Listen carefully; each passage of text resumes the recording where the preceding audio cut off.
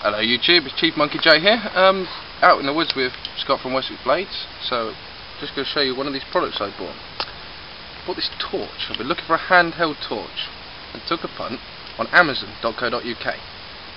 16 and a half, 17 quid is what it was. Looking at the reviews, everybody saying good torch for the money, excellent like that. I thought I'd give it a shot. So, what have we got here? We've got a 300 lumen, 7 watt, CREE, Cree bulb, uh, LED bulb powered torch. Powered by three AAA batteries in this nice little cage. Securely seems securely put together. They're the batteries I've got with it. I've been using it at night, at night in my, tour, in my loft, around at the field with my folks, various bits and pieces. A couple of features on it. We've got a high power a low power and a flashing. But within the high power and the low power we can change the beam angle on this demo. I don't know if you can see that changing on my hand. But we are in daylight out here in the woods. You can see on me shining like a beauty. Now I'm going to get Scott to pan this round on low power The tree over there that's well, a fair distance away. Hang it, hang it up. Right on. That's high power. Yeah, you can see that. On its smallest setting. And that's low power. Yeah, and you can see still that. see it shining up.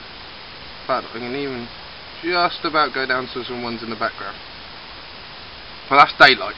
That's fantastic.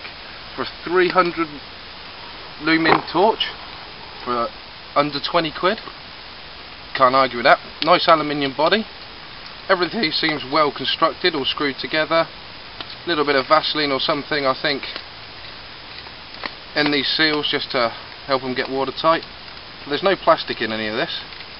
Seems to be pretty good so check out amazon.co.uk for it. Uh, let you know more how I keep using it and we'll keep you posted. Thanks for watching YouTube. Hey YouTube, Chief Monkey J, just update on the Cree Torch. 300 lumen 7 watt this is on low power at the moment. There you can see the uh, square pattern of the bulb. Spread the beam out. A nice sort of floodlight. Which is great for local area, but as you can see, we get out a bit, we lose it on the... Although you can't see it on the film, I can see the couple of trees in front of me. We lower the beam down, there you go. It's pretty dark out here at the moment. You can see that tree, that tree in front of us. We'll just flick it to high power a minute. There we go. Much more. Much further around. Obviously it's totally different on the camera than it is uh, for us guys here in the woods. It's pretty damn bright out here. That tree, how far would you say that tree over there is, Scott? That's 10 metres. 10 metres or so? Meters. Uh, it's pretty damn good. Uh, we're shining up the woodland like thing possessed here. But anyway, just an update on the torch for you. We're going to crack on because it is raining and there's a nice warm cup of tea waiting for us. Rah.